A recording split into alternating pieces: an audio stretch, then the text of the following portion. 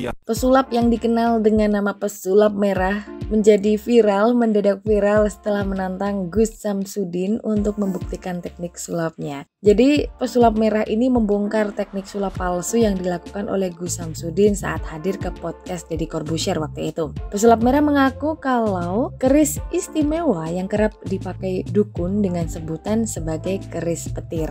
Menurutnya keris itu sering dipakai dukun sebagai alat pembersihan dan banyak dukun yang menggunakan keris dengan tombol remote. Hmm, keris tapi ada tombol remote-nya ini ya.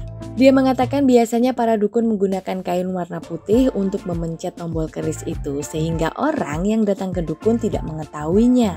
Pesulap merah kemudian mempraktikkan cara kerja keris petir dengan mengarahkan ujung keris ke bagian tubuh yang seolah-olah itu adalah tempat pasien terkena santet. Jadi ujung keris itu dibuat menyala sebagai penanda kalau oh titik ini yang kena santet ini di tubuh seseorang gitu kan. Jadi yang namanya pesulap merah ini mendadak viral setelah dia bersama timnya lantas mendatangi padepokan milik Gus Samsudin. Kedatangannya malah justru diwarnai cekcok dengan kuasa hukum Gus Samsudin. Aneh juga ini orang ya.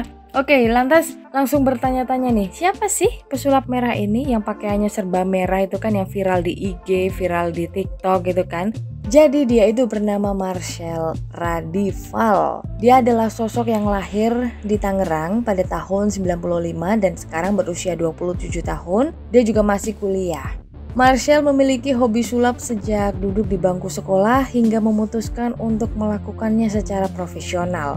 Dia lalu bergabung dengan Tangerang Hypnotis Community untuk mengasah kemampuannya sebagai pesulap agar bisa lebih hebat. Nama Marshall Radival ini uh, menjadi populer dengan sebutan pesulap merah. Dia semakin populer setelah tampil di podcastnya Deddy Corbuzier di tahun lalu. Lalu pada tahun 2019 sebelumnya Marcel juga pernah mengikuti Magicom sebagai peserta. Jadi Magicom adalah program TV di mana para pesulap berbakat dari banyak penjuru Indonesia tampil di hadapan juri profesional dan penonton. Namun guys ada yang menarik di akun Instagram pribadinya, yakni pada kolom bionya tertulis pawang dukun atau paranormal. Kini dia dikenal sebagai sosok youtuber dengan konten yang membongkar ilmu sulap. Nah, nggak tanggung-tanggung nih, YouTube-nya aja udah punya subscriber sebanyak 1,6 juta subscriber. Itu dia sosok pesulap merah. Kamu bisa mengikuti Instagramnya di @marcelradival1.